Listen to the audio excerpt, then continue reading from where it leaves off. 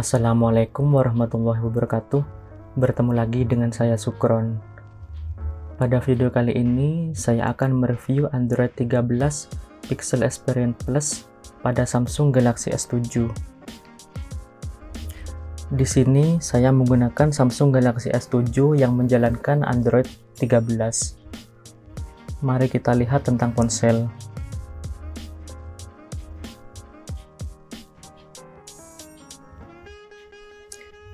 bisa kita lihat di sini posisi sekarang menggunakan Android 13 dengan kode nama Tiramisu atau Android T.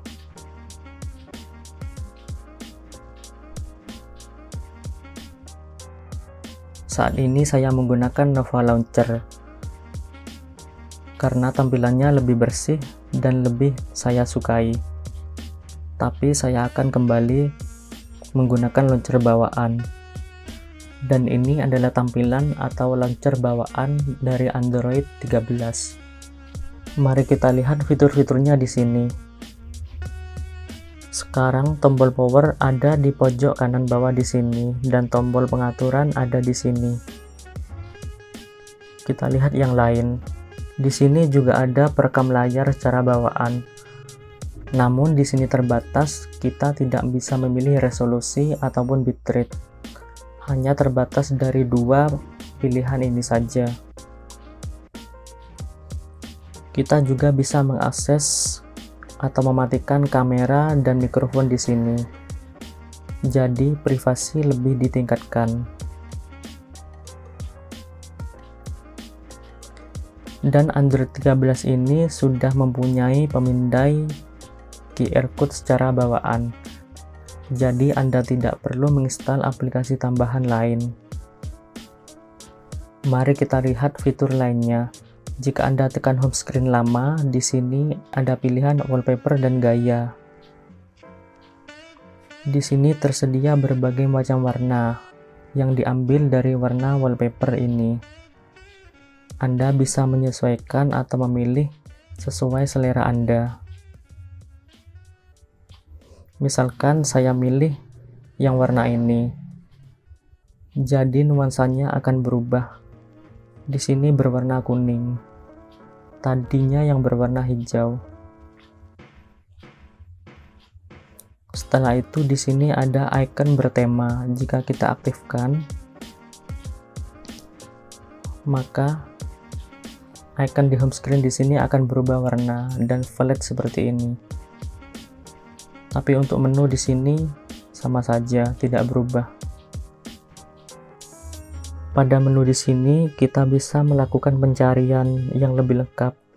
Bahkan kita bisa melakukan pencarian web di sini. Tapi bisa kita matikan atau nonaktifkan dari sini.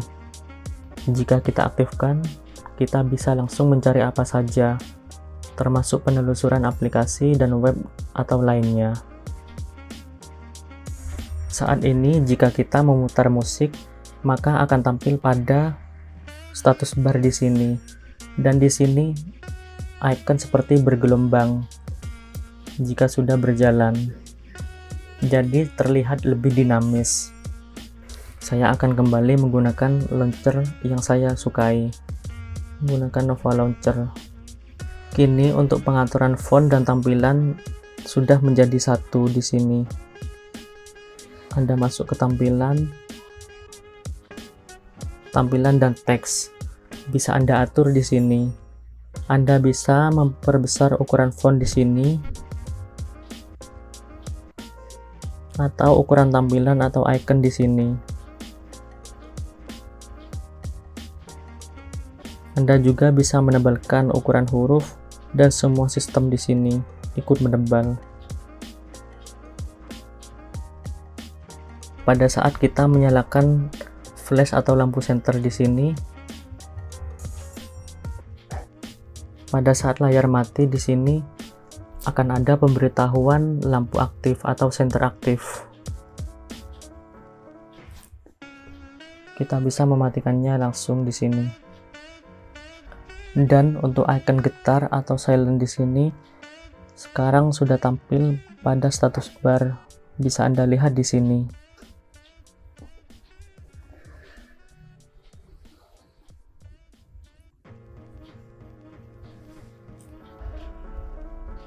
Dan sekarang untuk pilihan dark mode atau mode gelap di sini lebih banyak pengaturannya atau lebih banyak pilihannya.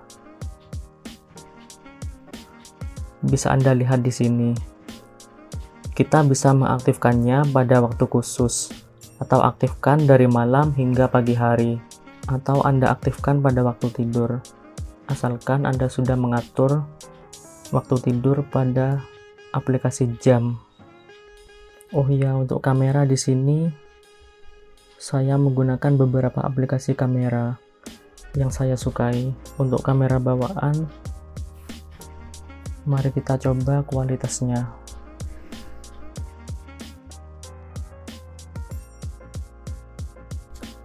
Saya akan coba mengambil beberapa sampel foto. Akan saya tampilkan pada layar.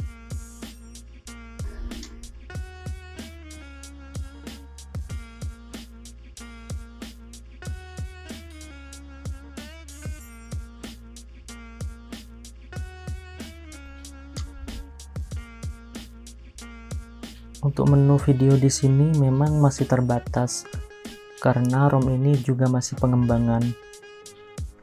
Di sini ada 480p, 720p, dan 1080p.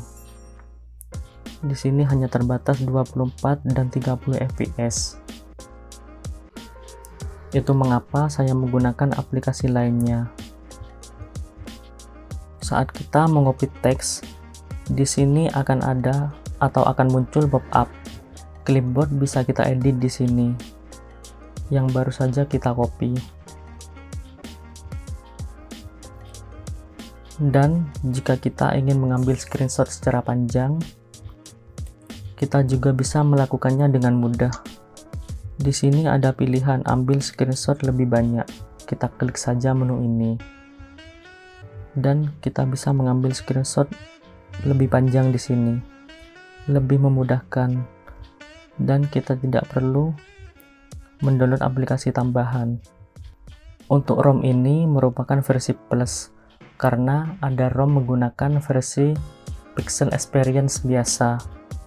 Di sini ada beberapa tambahan atau fitur yang tidak dimiliki oleh versi biasa. Untuk posisi jam di sini bisa kita atur posisinya di tengah, kanan, ataupun kiri. Untuk status baterai di sini saya menggunakan potret. Bisa juga Anda atur menggunakan atau tampil sebagai lingkaran di sini. Sesuaikan dengan selera Anda. Untuk icon baterai di sini bisa Anda sembunyikan ataupun Anda taruh di dalam icon. Tapi karena terlihat sangat kecil, saya menampilkannya di samping saja. Pada status bar di sini juga ada slider kecerahan. Anda bisa menghilangkannya di sini.